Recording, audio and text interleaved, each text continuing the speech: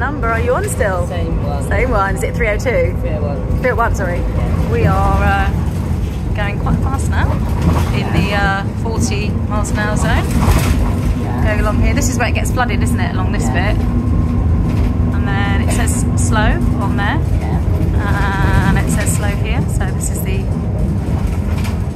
bit where the bus driver slows down. Because we're going off to university. No, we're not today, are we? We're not today. It's going super.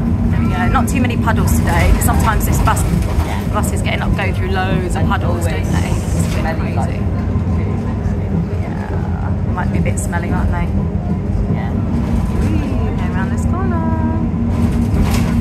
Bus ride. I'll wait until we get to the de Havilland and then I'll. So we're not getting off at de Havilland. So that's the university over there, isn't it? But we're not actually off there today. We're going all the way to the Galleria today.